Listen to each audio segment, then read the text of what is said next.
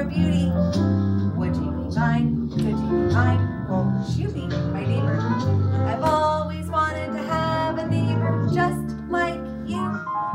Always wanted to live in the neighborhood with you. So let's make the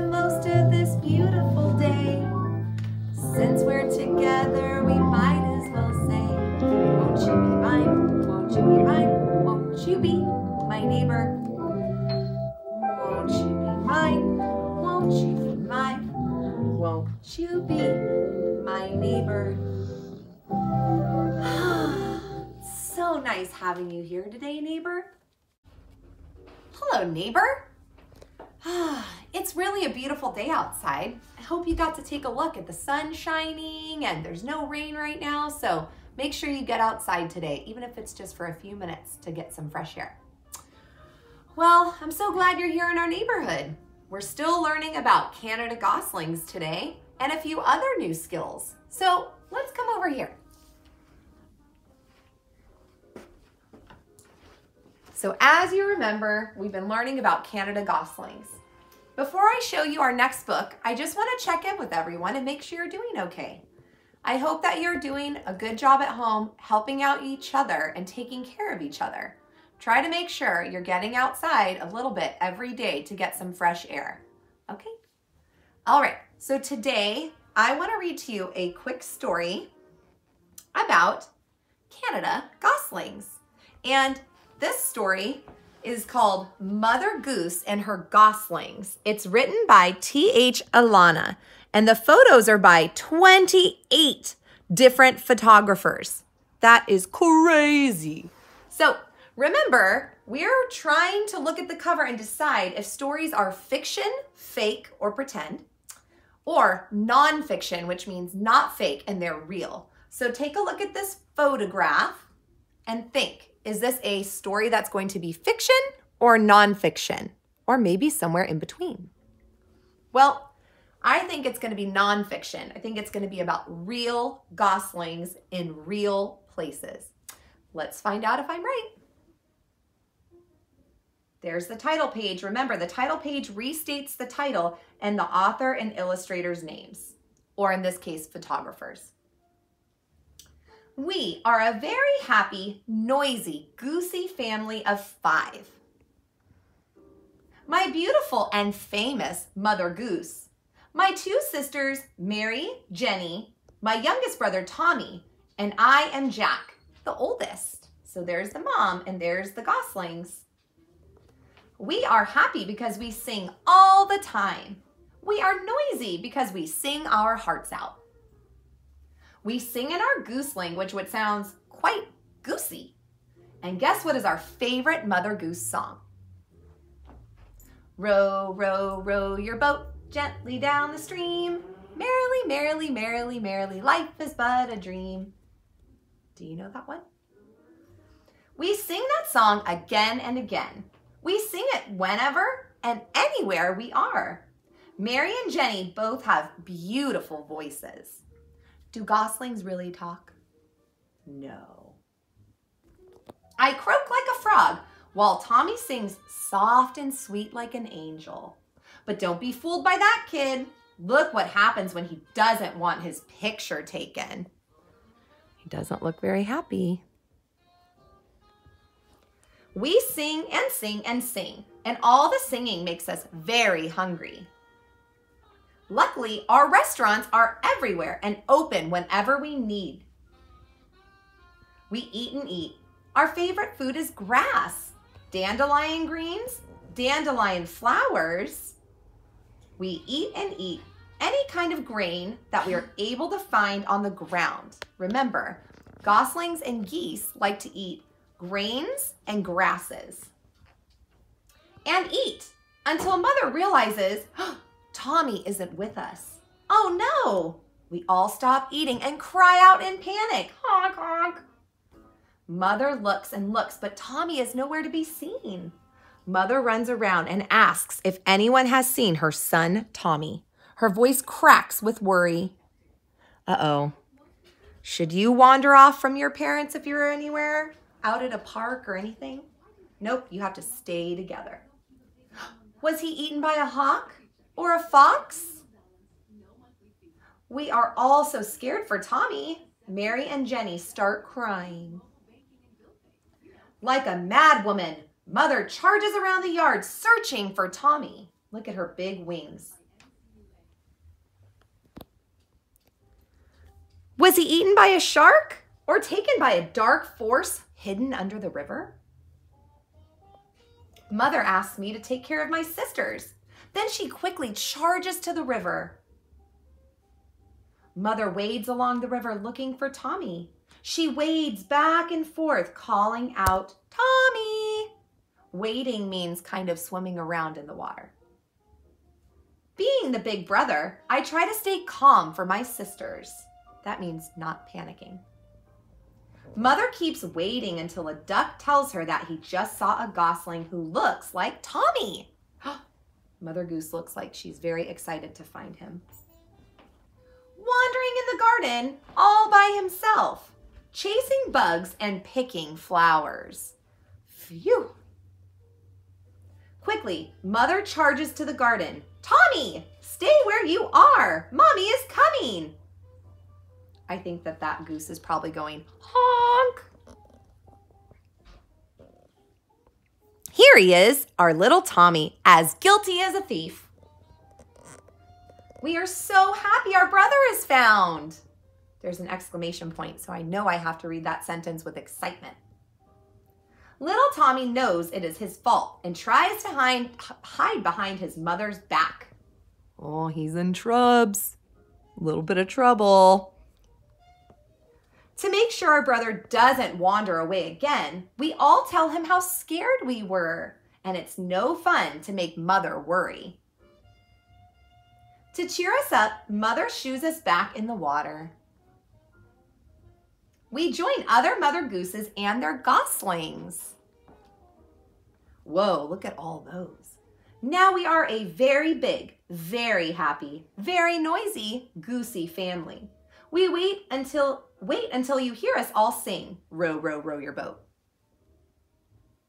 And that's the end. There's some really cool facts at the end of this book. And I'm just going to tell you quickly that they honk as a form of communication. That means they honk to kind of talk to each other or communicate with each other. They are so messy because they eat so much grass every day which means when there's lots of grass and they're eating a lot, that they're going to use the bathroom a lot. Why do they chase people? Well, they attack humans only when they find themselves being threatened or their baby goslings being threatened, which means if someone comes up and seems like they could be a predator. So that book was pretty cute. Did you like it? I did too. Okay, let's go over to our baby Canada Gosling pictorial and add some new information. Come with me. Oh, Flippy, Floppy, and Ted are waiting to be fed. I rhymed. Ted fed. Let's not make them wait any longer. Look at them go. All right, over here, is our picture that we drew the other day of our Canada gosling. And we labeled the different parts of a gosling. Then we added some pictures and talked a little bit more about where a Canada gosling might live, how they fly, what they eat, and that they can also live where people live. But let's add some new information. I'm to add some smart cards with new vocabulary. this is the word flock. Say flock. Good job. A flock is a group. So if there's a group of geese together, we call them a flock. The next word is V formation. Say V formation make a letter V like this. See it's letter V? Okay, V formation is how geese fly together as a flock. So if you see the picture over here, you can see that the geese form a letter V when they are flying. There's one goose that leads everyone else. And the reason they fly like this is so that they all can see where they are going. The next word is hatch. Can you say hatch? Job. So to hatch means that they are going to come out of an egg. They hatch out of an egg. So a baby gosling is going to hatch out of an egg. The next word is incubate. Say incubate. Can you clap it out for syllables? Incubate. How many syllables did you get? Try again. Incubate. Three syllables. Good job. So to incubate means to keep warm. So here's a picture of the mother goose keeping her eggs warm, incubating them until they are ready to hatch out of their egg. The next word is migrate. Say migrate. Migrate. Good job. Migrate means to move from one place to the next. So geese like to migrate or move when the food runs out or when the weather changes. They have to go where there's more food and where the weather is nicer for them. Speaking of food, Canada geese and Canada goslings are mostly herbivores. Say herbivore. Herbivore. Herbivore. Good job. A herbivore is an animal that eats mostly plants. And remember, Canada goslings eat mostly grass. The next word is forage. See, forage. Forage means to search for food. And we talked about this word beak not really being the correct term for this part of a gosling. We really refer to it as a bill, and it's flat and it's used for foraging for food. So it helps them to dig around and look for food. Next, we have the word webbed. Webbed.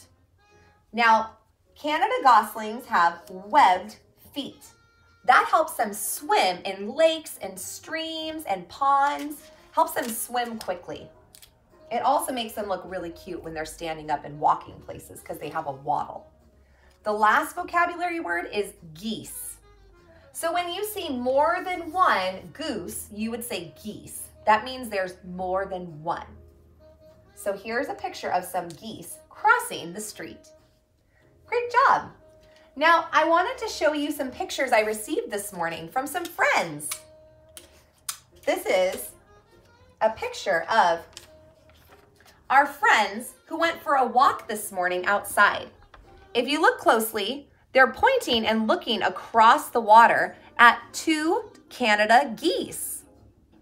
A big thank you to Nathaniel for spotting those geese and for sending us this picture. I'm just gonna tape this up over here next to Jay's amazing pictorial that he sent me a picture of. Here's another nice picture from Nathaniel of the Canada goose they saw this morning. Great job. Thank you so much for sending me these pictures. And I'm happy to see you're getting outside for some fresh air. Now, I just want to show you a couple of more things. You're doing a great job of sitting there, so maybe we need to do 10 star jumps really quickly. Get ready. Jump out and down, up and down, out and down, out and down. That's four times. Keep going. Five, six, seven,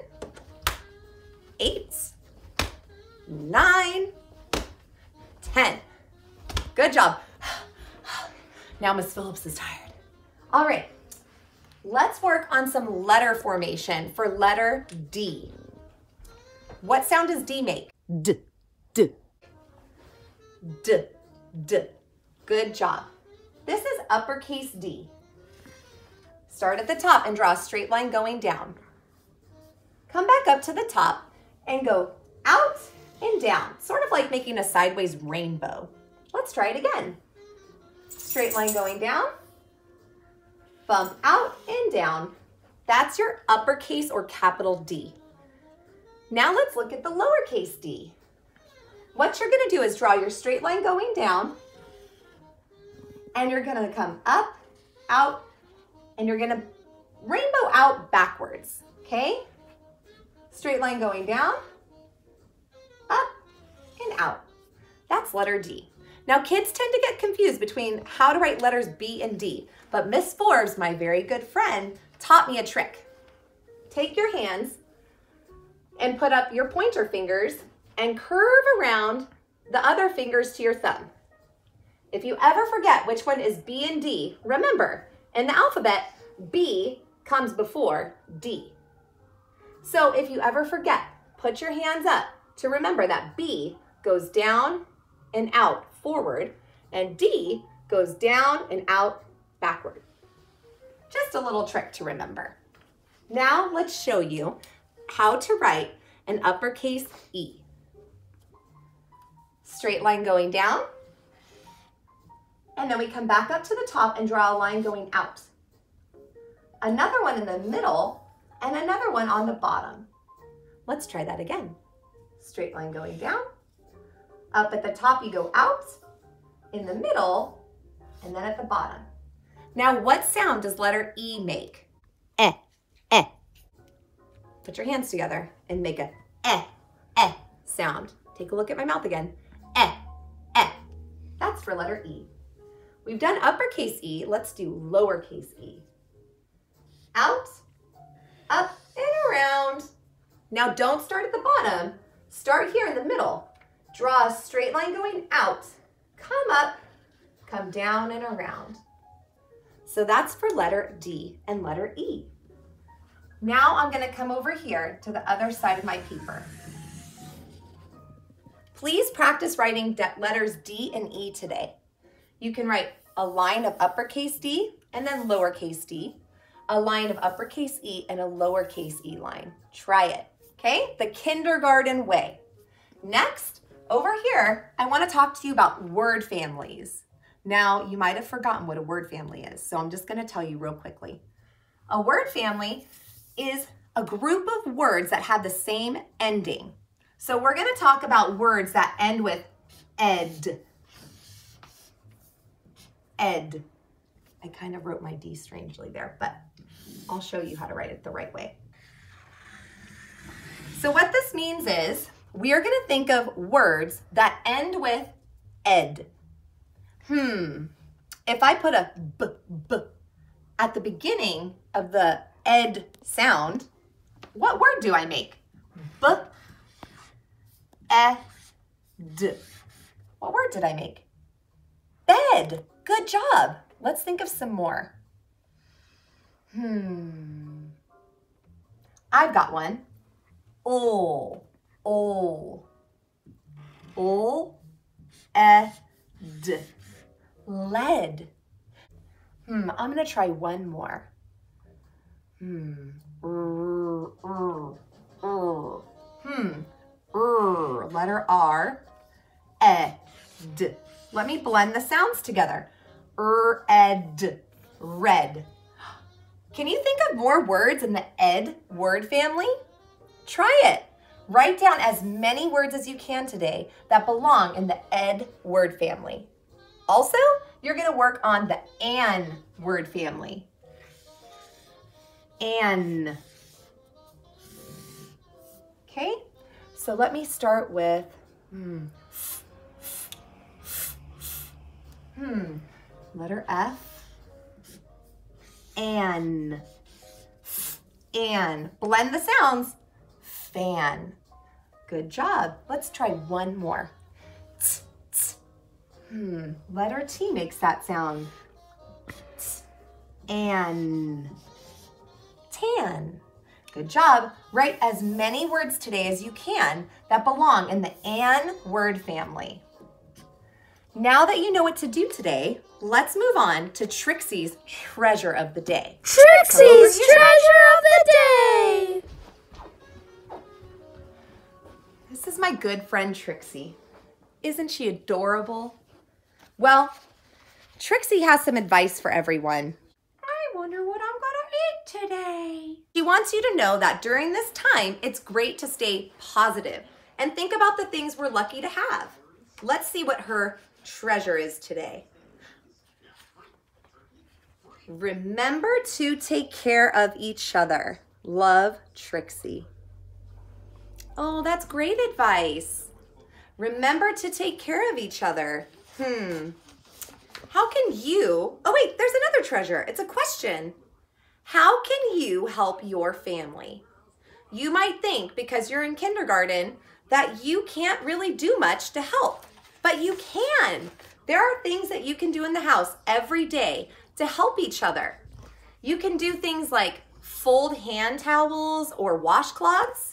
Fold? Did she say food? What's fold? Let me show you how. You can use your legs to make a fold. Lay the washcloth on your lap and fold out until the two lines meet up with each other. I want to make a square. Right now, what shape is this? A rectangle. Good job. So I'm going to fold one more time and I'm going to use my lap. I'm just going to fold to make the ends meet. And now I've made a square. Good job. So you can do that with washcloths or hand towels. Hand towels might be a little trickier because they are bigger. Okay, so use your lap. You can fold it in half first. If it's too hard, you could sit on the couch, you could sit on the bed, you could try folding, okay? So I need to fold to make a square. Is this a square? No, it's not. You're right, Trixie, it's not a square. So I need to fold again in half to make a square. Okay? So don't forget, you can do things around the house to help too. Another job that you can do is ask your parents if you can help put away clean dishes like spoons and plastic bowls and cups. I forgot the word. Cups and bowls. See what you can do to help around the house. But most importantly, make sure to tell each other that you love each other and that during this hard time, you want to make sure that you're there for each other and you can all help each other out. Trixie, you always give the best advice. Wave goodbye to our friends. See you later, neighbors.